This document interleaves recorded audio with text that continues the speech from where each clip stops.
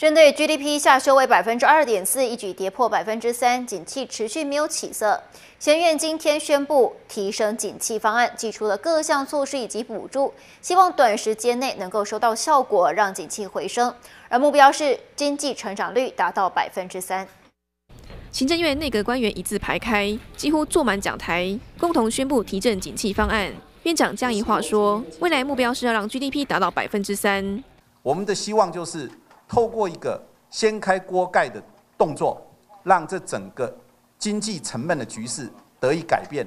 我们的目标仍然是希望能够达成经济成长率百分之三以上的这样一个理想。主计处日前下修全年 GDP 为百分之二点四，景气没有起色。行政院祭出四大面向十三项措施，包括扩大消费支出、提振国内投资、激励创新创业，还有就是修正正所税。不过，正所税方案有待立法院朝野凝聚共识，但会期就快要结束，为此将以花商立委喊话，希望不要拖太久。在前几天，我也有亲自拜托王院长，能够在朝野协商这一个阶段哦，呃，协助能够凝聚大家的共识。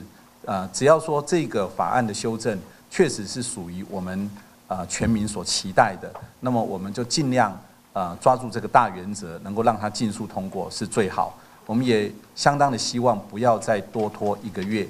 列出各类补助，还有松绑法规，行政院希望尽快摆脱闷经济，在短时间之内达到效果。